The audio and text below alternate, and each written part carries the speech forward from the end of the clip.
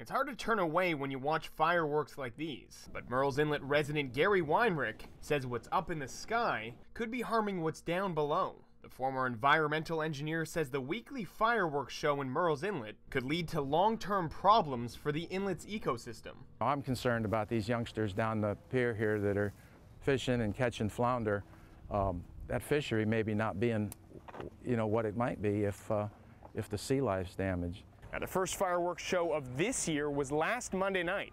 Weinrich says he ventured out early Tuesday morning and found debris like this littering the waters around the marsh walk. There was uh, paper wrappers fairly large in size.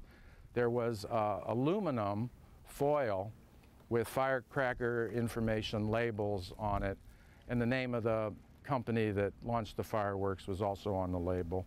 So I took Weinrich's concerns to those in charge of the show, the Marshwalk Restaurant Association. Dead Dog's managing partner Mike Campbell says it's up to the company that sets off the fireworks to clean up. Zambelli, the contracted vendor, is responsible for any debris that falls down into the water.